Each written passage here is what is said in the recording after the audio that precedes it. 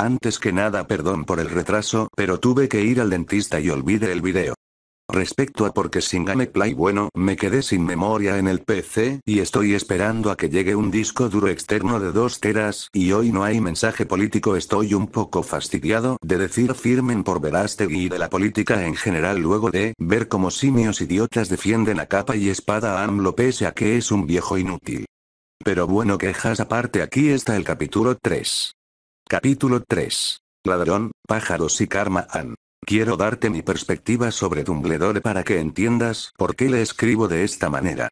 Albus es quizás uno de los personajes más ambiguos de los libros. Tiene cualidades positivas y negativas, pero en general creo que tiene la mentalidad de un general de guerra. Y como sabemos, la mayoría de las veces, las personas mayores están demasiado decididas a cambiar. Mi intención es retratarlo como el líder que era, inteligente pero equivocado. Harry Potter estaba organizando su mente, la afluencia de información le había provocado una migraña constante durante días. Dentro de la gran cantidad de libros que había encontrado en el baúl que su madre le había dejado, los más valiosos de todos eran sus diarios. Contenían su vida a través de Hogwarts, sus ambiciosos proyectos, sus metas para el futuro y sus clases favoritas. El diario que contenía su vida después de la escuela describía el apogeo de la guerra, historias de sus amigos que fueron perseguidos por su sangre y cómo se había enamorado de un idiota imprudente, pero amable y encantador, que resultó ser su padre. Los había leído con devoción, llegando a admirar a la mujer. Mientras los leía, Elizabeth se había distraído con los libros de la colección de su madre, leyendo sin descanso. Ahora tenía una idea de cómo funcionaba el mundo mágico, su madre había escrito sobre lo estancados que estaban, cómo estaban destruyendo la magia con sus ridículas creencias, cómo censuraban la magia basándose en su miedo. No podía estar más de acuerdo, todavía usaban pluma y pergamino, vestían ropas anticuadas combinadas con colores horribles sin notar los ridículos que lucían, y discriminaban la verdadera magia pura que recorría las diferentes especies. Leyó sobre el profundo respeto de su madre hacia las especies mágicas, arriesgando su vida muchas veces para salvarlas de los mortífagos, hecho que se ganó el respeto de muchos seres mágicos. Leyó sobre la guerra y lo completamente inútil que había sido el gobierno, y se enteró de cuán profundos son los prejuicios y la corrupción. Una vez que leyó los diarios de su madre tomó una decisión, continuaría trabajando por lo que su madre había luchado. La liberación de la magia. Lily Evans había sido una mujer amable que no pudo hacer lo necesario para lograr esa ambiciosa meta en su vida. Él, en cambio, no tenía restricciones. Harry creía que las alimañas tenían un lugar a sus pies y que cualquiera que se atreviera a cruzarlo merecía dolor. Tan sencillo como eso. Su madre también escribió sobre el castillo Potter. Escribió sobre las previsiones que tomó cuando no pudo convencer a su padre de que se mudara allí. Había colocado varias barreras alrededor de la cabaña y tenía innumerables trasladores alrededor de la casa en caso de que necesitaran huir. Sin embargo, el niño no entendía por qué necesitaban huir y lo que más lo confundió fue cómo atacaron a su familia. Según había escrito su madre, tomaron todas las precauciones necesarias incluso después de colocarlo de Fidelius, algo no estaba bien en el evento y Harry juró descubrir qué había sucedido realmente. Lamentablemente, sus abuelos habían sido asesinados por mortífagos un año después de la boda de sus padres.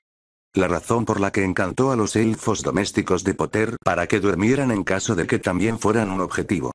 Ella escribió sobre los pequeños que eran leales y poderosos en extremo, pero necesitaban la magia de su maestro para sobrevivir, con planes formándose en su mente, caminó con Elizabeth hacia el caldero chorreante, teniendo que tolerar al camarero andrajoso que una vez más abrió la entrada al callejón Diagon. Caminaron hacia el banco, él saludó a los guardias y su hermana siguió su ejemplo. Buenos días, Teller Sharpclaw, le presento a mi hermana Elizabeth, saludó al mismo trabajador de su visita anterior. Buenos días, señor Potter, es un placer conocerlo, señorita Elizabeth. Igualmente Teller Sharpclaw, saludó la niña con un tono gentil, ganándose la aprobación de su hermano. El gerente Ragnar te está esperando. ¿Deseas que te guíe? Recuerdo el camino y estoy seguro de que tienes mejores cosas que hacer, que el oro desborde tu bóveda, Arya sintió con la cabeza al duende, con su hermana emulándolo y dejando atrás a un cajero sin palabras. Tocó la puerta y unos segundos después Ragnar la abrió, examinando a su compañero. Buenos días, gerente Ragnok, le presento a mi hermana, Elizabeth. Encantado de conocerlo, saludó. Del mismo modo, señorita Elizabeth, proporcionó el buen de sorprendido, tomemos asiento. Gerente Ragnok, me disculpo por no haberme despedido adecuadamente la última vez que nos vimos, no estaba al tanto de las tradiciones adecuadas, comenzó el niño una vez que se sentaron. Su madre escribió sobre los duendes, eran una raza guerrera que valoraba el honor y el respeto por encima de cualquier otra cosa. Ella había comenzado a aprender su idioma y costumbres, afirmando que era prudente aprender sobre quienes administraban su dinero y él no podía estar más de acuerdo. No hay ningún daño, algo que desee discutir antes de que le dé un informe sobre las reliquias recuperadas, señor Potter. Primero que nada, por favor llámame Harry. Y sí, quería hablar sobre las inversiones de mi familia. Para ser precisos, las reservas del dragón en las que invirtió mi madre, tengo curiosidad por saber si podríamos comprar todas las acciones. Se puede hacer, pero puedo preguntar por qué. Por supuesto, los dragones son seres mágicos poderosos, el hecho de que los traten como ganado me ofende, afirmó, sorprendiendo al buen de una vez más. Ya se hará, tendré los papeles listos, respondió el sorprendido hombre y escribió en su libro. También hay asuntos más delicados que deseo discutir, su tono indicaba cuán serios eran. Deseo darle a mi hermana acceso a mi bóveda personal, luego quiero saber si existe alguna posibilidad de que obtenga la custodia de Elizabeth en el mundo mágico. También quiero saber si hay una manera de postularme a una escuela mágica en el extranjero. Para ella, me gustaría tenerla en Hogwarts, pero mi fama le dará atención no deseada, comentó, ignorando su mirada abatida. También deseo hablar sobre el testamento de mis padres y las familias con las que se suponía que viviría después de su muerte. Me quedé con la hermana de mi madre, Petunia, quien a su vez me dejó en un orfanato, y sé que mi madre vetó el mujer. Ya veo, murmuró el duende con el ceño fruncido. No es posible dar acceso a tu cuenta a ninguna persona hasta que seas adulto. Hasta que seas mayor de edad, no podrás realizar grandes transacciones ni tener ningún poder real sobre tu cuenta aparte de retirar dinero. Ahora, a tus tutores. Tu padrino, Sirius Orion Black, está en Azkaban por el asesinato de 13 mugles, Peter Pettigrew, y por traicionar a tus padres. Tu madrina, Alice Clare Longbottom, reside en el pabellón permanente St. Mungos. Ella y su marido fueron torturados hasta la locura. Unos días después de que tus padres fueran asesinados. Sarah Doves murió durante el camino. Remus Lupin y Eleadora Pitsum se encuentran en perfecto estado de salud, en lo que a mí respecta. Sin embargo, debo decirte que es posible que el testamento de tus padres no les haya sido entregado. Porque fue sellado bajo las órdenes de Luis Engamot. MMM, me resulta difícil creer que mi padrino traicionaría a mis padres. De hecho, mi madre escribió en uno de sus diarios sobre él ofreciéndose como una distracción para los mortífagos. ¿Es posible obtener los registros de su juicio? Lo es, los registros son públicos y la magia los hace imposibles de destruir u ocultar, escribió una vez más en su libro. Acerca de la escuela, solo necesitas enviar una carta y el permiso de sus tutores, lo que nos lleva al siguiente asunto. No podrás obtener la tutela mientras seas menor de edad, aunque hay otra opción. La adopción de sangre. Es bastante una poción costosa, pero como su pariente más cercano, podrías decidir asuntos como la educación y la vivienda, explicó. Lo entiendo, y si ella está dispuesta, yo también, afirmó el niño, a lo que su respuesta fue una brillante sonrisa y un vigoroso asentimiento. ¿Cómo obtengo la poción? Lo encargaremos nuestros cerveceros, por supuesto pagando una tarifa, escribió el hombre sonriendo en su libro. Estará listo en una semana, podemos enviarlo por búho con las instrucciones. Por favor, hazlo. Otra pregunta, ¿sabes quién es mi guardián mágico o cómo puedo obtener la información? Considerando que eres huérfano, el ministerio tiene una tutela limitada sobre ti. Normalmente, un miembro de Luizengamot es asignado a esta tarea y en tu caso, se eligió a Albus Dumbledore. Hablando de él, el duende le entregó un carpeta. Tus reliquias fueron recuperadas de su posesión. También encontramos algunos documentos sobre ti, bastante interesantes porque uno de ellos te declaraba señor de la casa Slytherin por derecho de conquista, lo que te permitirá alcanzar la emancipación a los 15 años si así lo deseas. A pedido de tu madre, recuperamos tus pertenencias y objetos que pertenecen al ladrón que tienen el mismo valor que los que se llevó. Ojo por ojo y todo eso, ¿deseas examinar lo que recuperamos? Preguntó con una amplia sonrisa. Entonces Albus Dumbledore es un ladrón que tiene un interés inquietante en mí. Si no te importa, deseo examinar lo que recuperaste, afirmó Harry, colocando una mano suave en el hombro de su hermana para calmarla. Observó al gerente, que seguía escribiendo en su libro. Unos minutos más tarde. Llegaron tres duendes, dos cargando un cofre grande y el último con diferentes carpetas, colocaron todo y se fueron sin palabras. Si lees y firmas esto, es el contrato para la compra de la poción, 350 galeones más una tarifa de 50. Este contiene los detalles de dónde y en posesión de quién encontramos tus reliquias familiares y qué tomamos. De él, que están dentro del cofre. Esta carpeta contiene información sobre las reservas, le enviaremos una actualización. Esto contiene información actualizada sobre diferentes escuelas mágicas y antecedentes. Sin embargo, no podemos encontrar los registros del juicio de Sirius Black. Lo que significa que no tenía uno, anunció mirando su libro con el ceño fruncido. Gracias gerente Ragnok, dijo aceptando la llave y colocándola en su bolso. ¿Conoce a alguien a quien pueda contratar para hacer una investigación discreta? De hecho, sí. Te pondré en contacto lo antes posible. No hay prisa, quiero a alguien confiable así que tómate tu tiempo. Ari leyó el contrato y lo firmó, poniendo las otras carpetas en su bolso y revisando el cofre. Al abrirlo con ojos curiosos, sacó una capa plateada que parecía fluir como agua, muchos libros antiguos con el signo de armas de Potter, algunas cosas que no reconoció pero decidió leer sus descripciones más tarde. Lo que llamó su atención fueron los libros que no pertenecían a los Potter y un artefacto de plata que tenía algo oscuro en su interior. La capa de invisibilidad de Potter, los libros sobre la historia de los Potter y algunos sobre su magia familiar, y los trasladores desactivados que recuperamos. Los libros que pertenecieron al ladrón y un curioso artefacto que contiene tu sangre, anunció el hombre. ¿Mi sangre? ¿Eso significa magia de sangre? casi preguntó Harry, frunciendo el ceño ante el objeto. Te encomiendo el objeto para que lo destruyas después de descubrir para qué sirvió. Dime cuánto será, solicitó tratando de controlar su creciente ira. Déjalo hecho, sacar sangre de un niño es un acto atroz, afirmó el buen luciendo perturbado mientras la niña intentaba calmar a su hermano. Gracias gerente Ragnok, para terminar nuestra reunión, recuperaré el traslador al castillo Potter y sacaré dos bolsas con 500 galeones cada una. También me gustaría preguntar si conoce alguna hechicera o encantador, Harry preguntó cortésmente, su rostro todavía estaba grabado en piedra. Se hará, sobre la hechicera, tenemos algunas trabajando para Gringotts, puedo contactarlas si lo deseas, por una tarifa, ofreció con una sonrisa. Por favor, dejaré el cofre a tu cuidado hasta que llegue al castillo, enviaré a un elfo doméstico para recuperarlo más tarde. Estaremos en contacto y que tu espada pruebe la sangre de tus enemigos, gerente Ragnok. Dijo inclinando la cabeza y su hermana hizo lo mismo.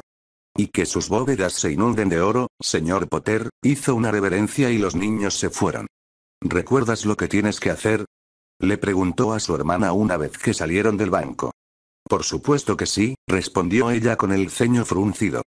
Primero voy a Ollivanders a recuperar tu varita y me compro una, luego busco un baúl con al menos tres compartimentos pero sin espacio para bolsillos, luego a la librería porque estos salvajes no entienden lo que es una biblioteca comunitaria y buscan libros publicados en la última década. Luego, si tengo tiempo, busco otro lugar donde se pueda comprar ropa aparte de la que sugirió Hogwarts y te espero en la única heladería que tienen los brutos, resopló luciendo molesta. Bien, tengo que comprar una capa para poder ir al callejón Nocturne. Después buscaremos ingredientes para pociones y conseguiremos unas cuantas lechuzas, también puedes conseguir una mascota, le dijo ignorando la sonrisa casi maníaca que se extendió por su rostro ante la idea de una mascota. Compra todo lo que consideres necesario o te guste, le dijo y se separó. Harry caminó hacia casa de Madame Malkin, molesto por la atención que estaba recibiendo. Ya fuera su apariencia o su ropa, no le importaba, pero estaba a punto de asesinar al próximo idiota que lo mirara. Entró a la tienda y la miró con desagrado, una anciana se le acercó con un horrible vestido color malva y se arrepintió de haber entrado al lugar. Buenos días señora, estoy buscando batas, saludo, sintiendo la cortesía como ácido en la boca al ser dirigida hacia la mujer que seguía mirándolo. Por supuesto, será un honor encontrar túnicas para un joven tan guapo. ¿Qué tal esta? Combina muy bien con tus ojos o tal vez esta, comenzó a parlotear molestándolo aún más. Una simple túnica negra, interrumpió a la mujer. Por supuesto querida, ¿qué pasa con este? Es lo que tenía en mente, respondió poniéndoselo. Eso serían 19 hoces, anunció.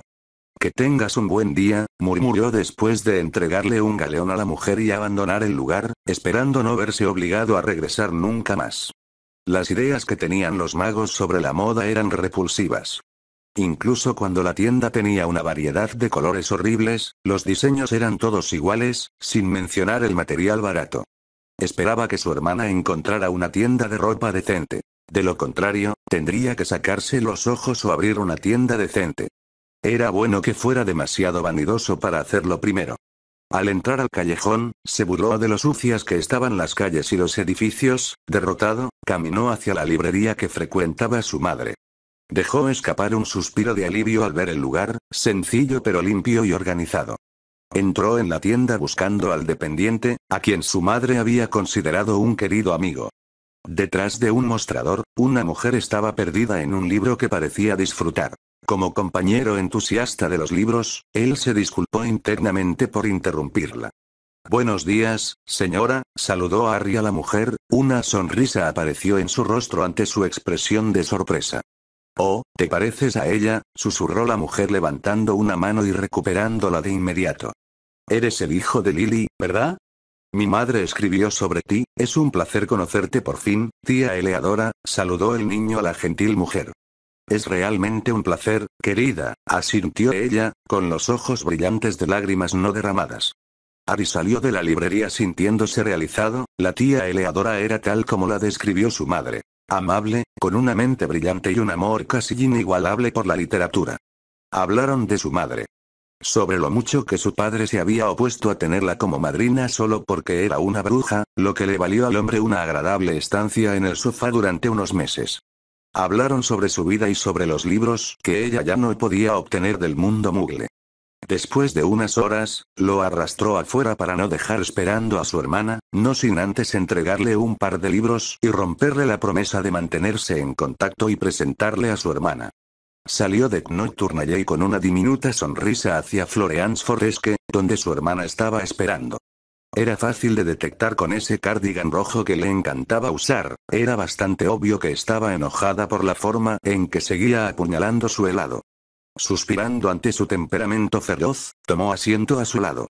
¿Puedo saber qué pasó? Preguntó, ella sacó un libro y se lo arrojó. Una vez más agradeció sus rápidos reflejos, no le apetecía un ojo morado. Demándalos, exigió y siguió apuñalando a su fría víctima. Lo haré, prometió, mirando con disgusto un libro que tenía su nombre y decía ser sus aventuras. Aparte de esto, ¿qué más encontraste? No hay tiendas de ropa decentes, un lugar llamado Gladerax era horrible y aparentemente solo existen dos tiendas de ropa, casi se queja y sigue cortando su helado. Tengo un baúl, cuatro compartimentos. Le pedí al dueño de la tienda que lo mantuviera básico, pero está cubierto de piel de dragón. Aquí está tu varita, me electrocutó cuando intenté agarrarla, resopló, molesta. También compré mi varita. Serval con fibra de corazón de dragón, 11 pulgadas, bastante rígida, una combinación inusual. O eso es lo que dijo el fabricante de varitas. También tengo dos kits de mantenimiento y dos fundas para varitas. Por cierto, encontré otro boticario, es más caro que el del señor Mulpepper, pero creo que tienen mejor calidad, comentó entregándole su varita, que estaba cubierta con su pañuelo, para su diversión.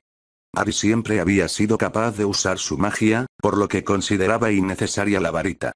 Sin embargo, en el momento en que lo tocó supo que se había equivocado. Se sentía como si le hubiera faltado algo y por fin estuviera completo, se sentía como una manta cálida en un día gélido, no había palabras que pudieran transmitir la sensación indescriptible.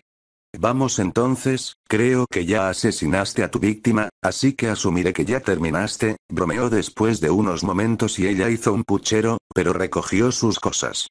Me quedan 231 galeones. Tuve que darle al fabricante de varitas un bono por tu demonio de varita. Aparentemente, intentó destriparlo cuando la tocó.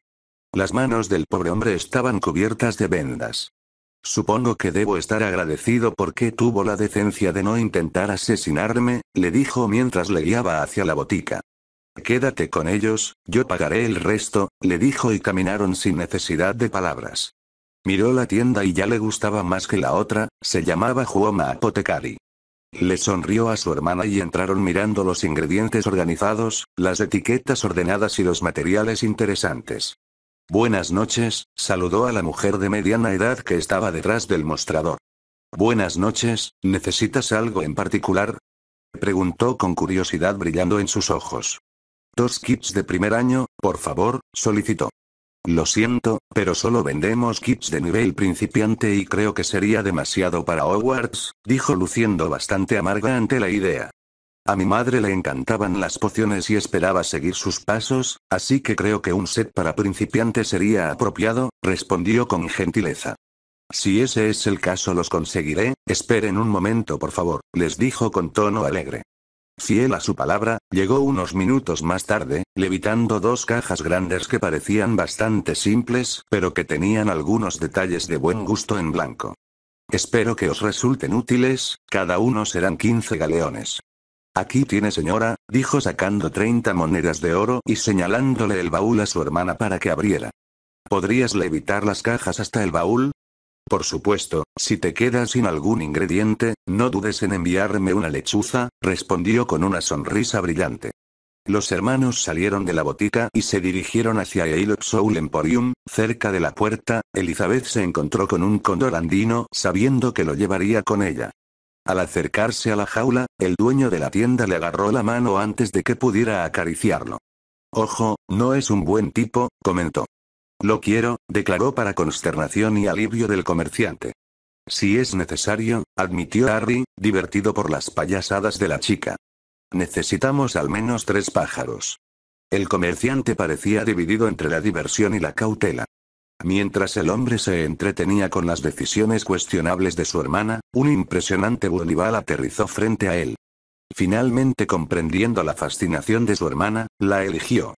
Llevando los pájaros al mostrador, casi sonrió ante la expresión de perplejidad del dueño de la tienda. Su hermana lo esperaba con tres jaulas, en las que había dos pájaros grandes y una lechuza demasiado grande. En todos sus años, William Eilux nunca tuvo clientes tan extraños. La pequeña eligió los pájaros más hostiles que tuvo el disgusto de encontrar, mirándolos como si fueran adorables cachorritos. El niño no habría sido tan malo, solo si nunca hubiera visto esa lechuza antes y recordara cada pájaro que pasaba por su tienda. Completamente confundido, les dijo el precio e hizo una mueca internamente, sabiendo que era demasiado alto para que los niños pudieran pagarlo. Muy bien, ¿agregarías comida, golosinas y cuatro pechas? Preguntó el niño y William sintió tontamente entregándole lo solicitado y murmurando un nuevo precio. Bien, ahora me gustaría que olvidaras que vinimos aquí y lo que compramos, susurró el niño después de colocar una pesada bolsa de galeones cerca del mostrador y el hombre asintió. William salió de su trance de sueño. Administrar una tienda no era sencillo. Tres pájaros habían logrado escapar hace un par de días y ahora él no podía encontrar su percha favorita. Tener su propio negocio no era tan glamoroso como imaginaba, pero lo positivo es que había encontrado una bolsa llena de oro que compensaba cualquier inconveniente, tal vez era momento de tomarse unas cortas vacaciones. ¿Era necesario? Preguntó Elizabeth mirando a los pájaros alejarse volando. Lo fue, compramos pájaros exóticos y él lo habría recordado. Quería dejar que los pájaros volaran solos al orfanato. Ah, no es necesario pero es cruel mantener a seres vivos en una jaula. Encontrarán el orfanato, el papel que les di tenía las instrucciones exactas. Vámonos ahora, podemos cenar en cualquier lugar que elijas. 11 de julio de 1991, número 4 de Private Drive, su rey Petunia Dursley estaba pasando un momento horrible. Primero, el monstruo vino buscando al monstruo que había quedado a su cuidado. Después de maravillosos años de paz, regresaron. Si eso no fuera suficiente, la policía vino a su casa a investigar, ahora se dio cuenta de que había sido una estupidez cerrar el armario con llave y fingir que el niño nunca sucedió sin deshacerse de sus cosas. Su marido estaba en la cárcel por abuso y abandono de menores, ella estaba en libertad condicional y su hijo estaba a punto de ser enviado a un reformatorio. Maldijo a esos malditos monstruos que habían arruinado su vida, maldijo al monstruo que de alguna manera los había delatado y, sobre todo, maldijo a su maldita hermana por tener todo lo que Petunia alguna vez soñó y más. 5 de agosto de 1991, despacho del director, Hogwarts. Albus Dumbledore estaba exhausto después de la reunión con el personal, era bastante obvio que los lunes no eran sus días. El mes pasado había estado ocupado con sus deberes como jefe de la IGU, un trabajo oneroso pero gratificante. Trató de pedirles a muchas personas y criaturas que prestaran atención en caso de que Harry Potter fuera al callejón, pero hubo muchos obstáculos. Los duendes nunca dieron información personal de un cliente importante y Harry Potter era un cliente realmente importante, incluso si el niño aún no lo sabía. Garrick recordaba cada varita y la persona a la que se las vendió, sin embargo, nunca reveló la información a menos que la persona estuviera presente. Tom interactuaba con tanta gente todos los días que apenas reconocía su propio rostro y lo mismo podría decirse de Madame Malkins. Esa es una de las razones por las que había enviado a personas en las que confiaba para cuidar al joven Harry. Desafortunadamente, aún no habían reportado ninguna información sobre el niño, por lo que supuso que aún no había obtenido sus materiales escolares. Suspiró una vez más, preguntándose dónde se había ido todo su whisky de fuego. ¿Realmente se lo había bebido todo? No importa, Dumbledore había esperado que el niño estuviera encantado con su mundo, a diferencia de lo que esperaba y deseaba, el niño tenía el mínimo interés en el mundo mágico y temía que el niño fuera clasificado en una casa que no fuera Gryffindor. Pensando en él, buscó el artefacto de plata y palideció cuando notó que faltaba. Corriendo a su habitación, buscó los libros que tomó de Godric Hollow, notando que esos y muchos otros de su colección personal faltaban, casi sufre un paro cardíaco. Con manos temblorosas, abrió el cofre donde guardaba la capa de invisibilidad y los trasladores desactivados solo para encontrarlo vacío. Siguió mirando el cofre deseando que apareciera. No pasó nada. Se desplomó en el suelo y hundió la cara entre las manos con frustración. Sabía que tomar esas reliquias no era ético, pero había sido lo correcto. Los libros contenían conocimientos peligrosos, también había querido ocultarle el grimorio de Potter a Harry, pero no había podido acceder a ninguna de las propiedades de Potter o incluso acercarse a las pocas que recordaba, lo cual no era mucho. Lily había realizado el Fidelius y ahora estaban perdidos para el mundo. Por si fuera poco, la capa de invisibilidad había desaparecido. Ese objeto era extremadamente peligroso, lo había recuperado en el momento que pudo y, por un tiempo, jugó con la idea de dárselo a Harry para ganarse su confianza, pero todos sus planes fueron en vano. Podía ir al Dle, pero no había forma de rastrear los artefactos. Además, ¿qué podría decir? ¿Que alguien había robado lo que él les había robado a los Potter? Estaba frustrado pero sabía que estaba haciendo lo correcto, Harry era demasiado importante para la paz del mundo mágico como para permitirle el pleno conocimiento de sus raíces, era por un bien mayor. Fin del capítulo.